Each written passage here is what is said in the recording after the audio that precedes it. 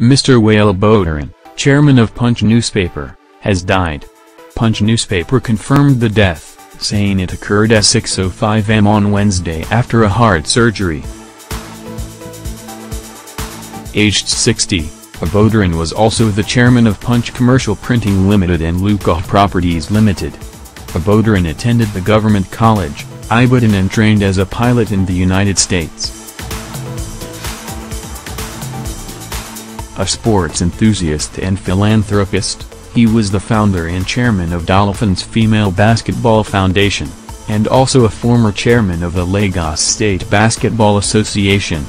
He was also vice president of the Nigerian Basketball Supporters Club. He is survived by his wife, Titi Titilayo, and two daughters.